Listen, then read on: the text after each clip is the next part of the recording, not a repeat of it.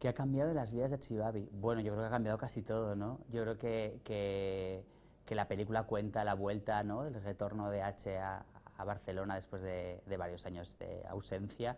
Yo creo que a H le ha pasado por encima la vida, ¿no? Le ha pasado por encima la ruptura con Babi, le ha pasado por encima la muerte de Pollo, le ha pasado por encima la situación con su madre y yo creo que, que el personaje de repente es mayor, ¿no? Está, es adulto y, y, y, es un personaje que de repente mira para adentro en vez de para afuera, ¿no? Como en la primera película. Yo creo que Babi eh, ha evolucionado, ha crecido, ha madurado y ha seguido el camino previsto para ella y ha abandonado la posible Babi que podía haber sido al lado de H para ser algo más parecido a lo que, a lo que es su madre, ¿no? A pesar de que hay un momento en la peli en el que de repente vemos que quizás quede algo de ella todavía vivo. Y yo creo que básicamente es eso, los personajes les ha pasado la primera película por encima y les han marcado a fuego, pero no solo a ellos, también a Katina o a Rafaela o a Nerea. Yo creo que de eso va la película, ¿no? De, de cómo lo que sucedió en Tres metros sobre el cielo ha afectado a los protagonistas y cómo tratan de sobreponerse a ello. Eh, ¿Cómo surgió el personaje? Eh, eh, pues de manera muy sencilla, surgió porque creo que es la única que lo podía hacer.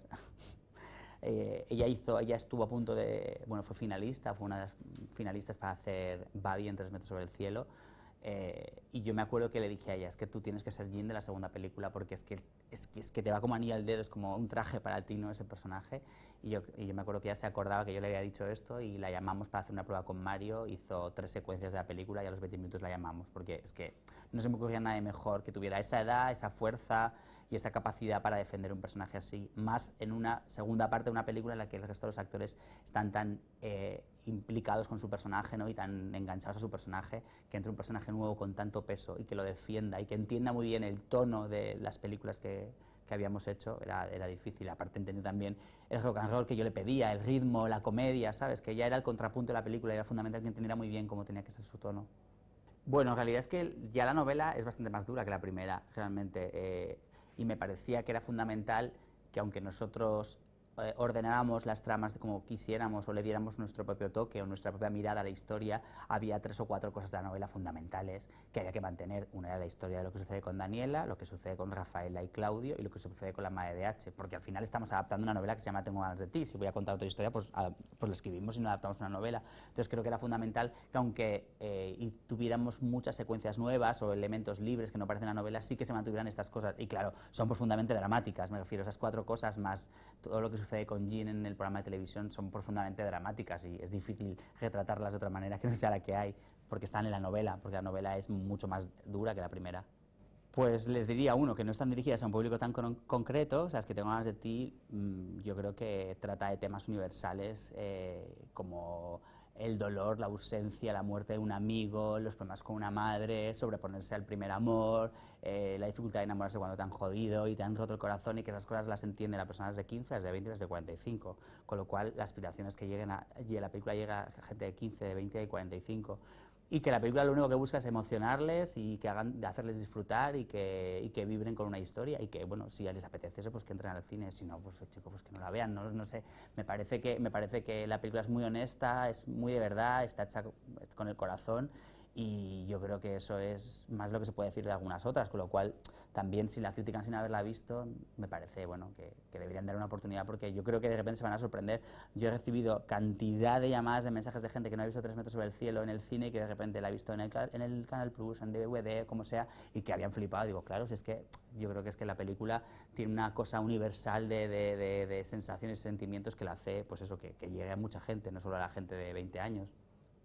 Eh, bueno, realmente hasta ahora no, porque bueno, las películas que he hecho ya estaban, ya estaban eh, preparadas o preproducidas de antes.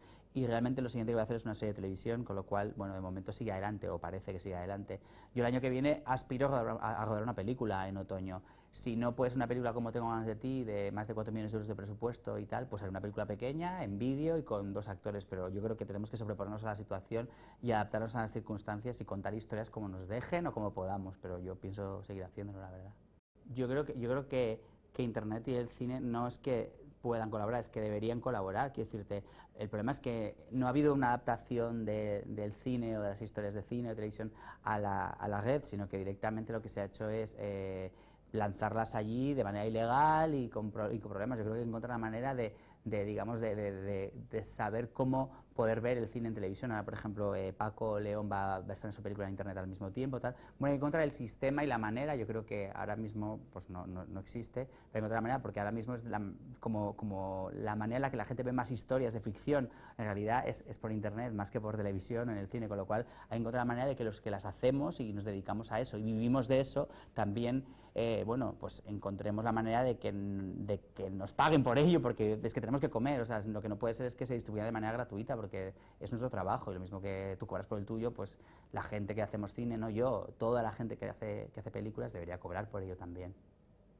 Bueno, en mi caso con Mario a, ya a toda, realmente me conoce, me conoce muy bien, le conozco muy bien, sabe la manera que tengo de trabajar, lo que me gusta, eh, yo sé cómo trabaja él y, y, cómo afronta los trabajos y qué necesita en cada momento para, para, interpretar una secuencia, con lo cual esta peli ha sido lo más fácil que hemos hecho de todo, a pesar de que para mí es el personaje más difícil y el trabajo más elaborado, ha sido, ha sido la película más fácil, la que menos, menos esfuerzo hemos hecho, o sea que muy bien.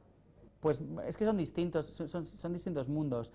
Eh, el cine te da más tiempo ¿no? para trabajar y, y una mayor eh, exactitud y es un trabajo más de orfebre, ¿no?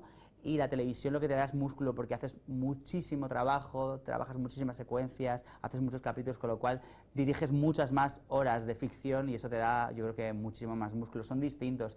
La las películas empiezan y acaban, los personajes tienen una evolución, a pesar de que aquí ya sean dos películas, pero tiene una evolución.